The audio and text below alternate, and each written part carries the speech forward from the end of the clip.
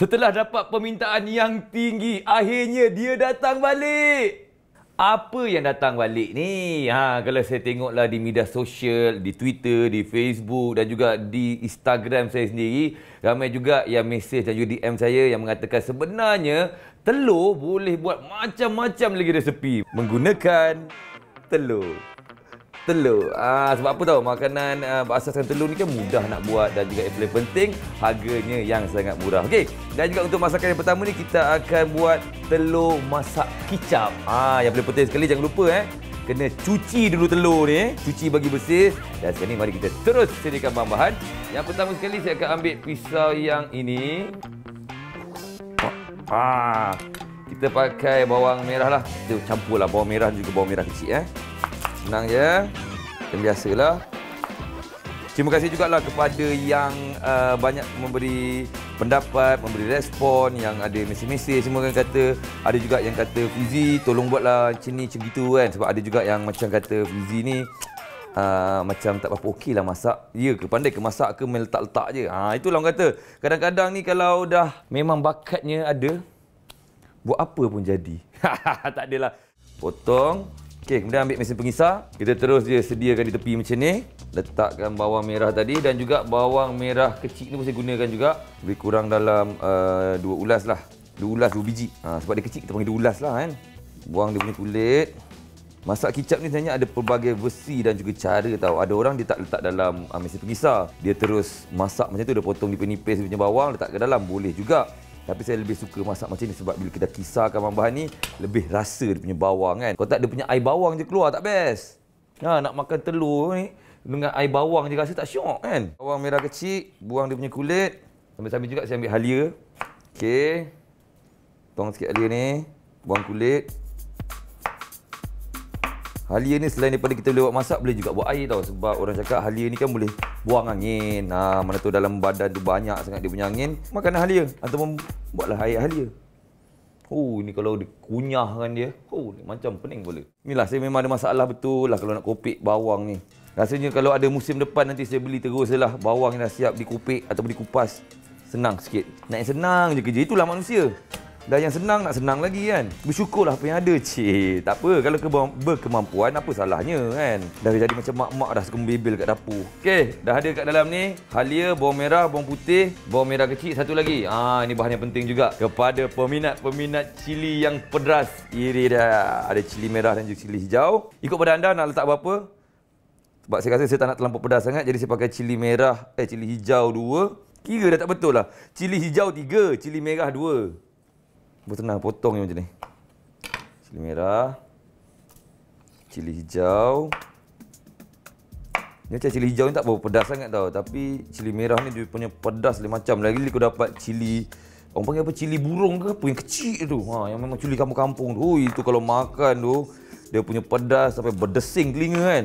Okay, ni dia cili yang telah dipotong terus letak ke dalam mesin pengisar. Dan sekarang kita letakkan sedikit air ke dalam mesin pengisar kita. Jangan banyak sangat sebab kita nak dia punya uh, bahan-bahan ni lebih pekat lah macam tu. Sebab kalau agak cair nanti bila kita nak menumiskan dia dia macam agak uh, lambat sikit lah untuk dia apa kering tu kan. Lagi-lagi kalau kita pakai periuk nasi macam ni. Jom.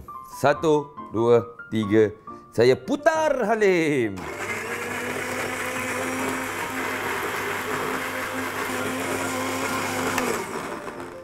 Sikit lagi. Ngam cantik. Kita nak ambil bau sikit. Daripada bau kita tahu tahu betapa uh, bahan-bahan dalam ni pedas ataupun tidak kan. Oh, dia menusuk ke hidung. Maksudnya memang agak pedas sikit lah. Telur masak kicap kita ni. Turunkan mesin pengisar. Ini boleh letak di sini. Dan kita akan terus pergi ke periuk nasi.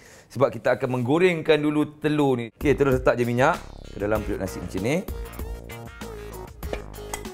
Tunggu lebih kurang 1 ke 2 minit. Kalau periuk nasi kita dah panas, bolehlah kita teruskan langkah yang seterusnya. Dah cuci belum telur? Dah cuci. Nampak? Basah-basah telur dia ni. Ah. Mana kain betul lap sikit lah. Buka tudung periuk nasi bila dah panas macam ni maksudnya eh dah panas dah bila berasap itu maksudnya dah panas lah. Mari kita pecahkan telur ke dalam periuk nasi tengok macam mana jadi ataupun tidak. Tu dia, dia ke bawah tu, weh. Jauh betul lagi. Okay, saya rasa macam ni kan kita kena tutup lah. Sebab bagi dia punya atas ni masak sikit dan dia boleh jadi masak depan belakang lah. Tutup dulu eh. Mari kita buka tudung periuk nasi ni. Okay, tengok bawah dulu macam dah hangit-hangit sikit maksudnya dah boleh lah kita nak terbalikkan. Satu, dua. Ah, jadilah. Siapa kata dalam periuk nasi tak boleh nak goreng telur? Boleh aja. Okay lah tu cantik lah ni. Ngam dah. Ambil pinggan. Kalau suka yang kuning dia tu tak masak sangat boleh lah orang kata tak payah terlampau lama sangat masak kan? Yang suka cair-cair macam tu boleh juga. Ok mari kita keluarkan. Telur ni terus letak ke atas pinggan.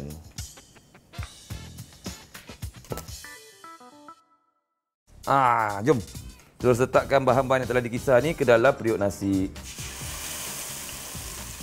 Tak je semua. Macam ni.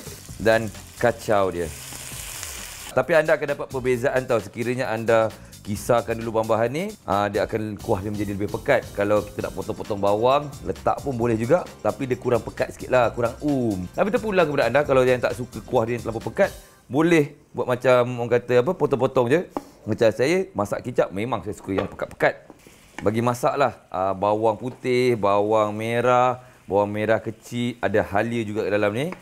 Masakkan dia. Dan juga cili padi Okey, kita boleh terus masukkan bahan-bahan yang lain. Saya akan masukkan dulu kicap pekat. Kicap cair. Masukkan juga sedikit sos tiram. Masukkan juga kicap manis. Ya, dan juga sedikit sos ikan. Kita kacaukan bahan-bahan yang kat dalam. Nampak tak? Apabila dia dah bergabung, Warna dia pun pekat. Ha, kita harap kamera nampak lah ya walaupun warna dia agak gelap sikit ni. Ya, kita kacau-kacaukan dia. Dan diingatkan kepada anda jangan terus letak garam dan juga gula sebab kita dah campur kicap tadi macam-macam kicap, kicap manis, kicap masin. Kita tak tahu rasa dia macam mana kan. Kalau rasa macam agak pekat boleh tambahlah sedikit air. Dan kita kacaukan dia balik. Bagi dia punya apa bahan-bahan tadi tu bersatu. Ha, macam tu. Masa untuk memasak uh, masakan ni saya rasa lebih kurang dalam 10 minit lah. Cepat je kan. Cuma nak goreng telur tu lah. Satu-satu tu yang payah sikit sebab kita pakai periuk nasi. Mari kita terus tuang lah ke atas telur yang sudah digoreng tadi tu. Okey, dah boleh dah tutup dia punya Swiss periuk nasi. Angkat periuk nasi ni. Kemudiannya, terata-ratakan. Ini kita nak tuang terus ke atas telur yang telah digoreng tadi. Nampak tak? Oh. Okay, ini dia. Aduh, sepah-sepah pula tak apa. Dan kita rata-ratakan lah. Ha, macam ni. Bagi kena dekat ke semua telur yang ada ni. Mm, mm, mm, mm. Cukup dah macam ni.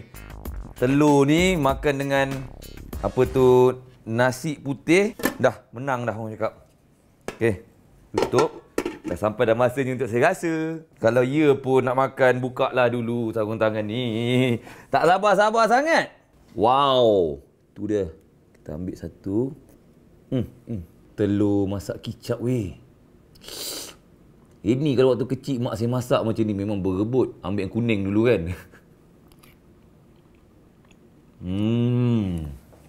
Wow.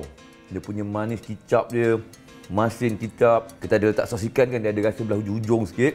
Makan dengan telur. Hmm, hmm, hmm. memang terbaik ni. Ni memang kena makan dengan nasi. Mana makan sini je?